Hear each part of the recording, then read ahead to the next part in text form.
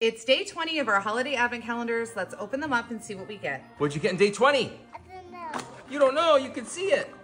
It's a blue car. And a blue girl. In day 20, in my Bon Maman Jam Advent Calendar, Is quince spread. I don't even know what that is. Hey Gretchen, what'd you get in your advent calendar today?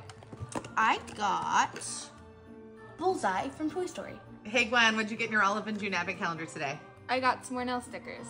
In day 20 of my benefit advent calendar, I got a primer. Hey Gemma, what'd you get in your Lego advent calendar today? I got a bunny. Hey Gabrielle, what'd you get in your Sephora advent calendar today? I got a makeup brush. And today in my wine and chocolate advent calendars, I got a Cabernet and two milk chocolate stars.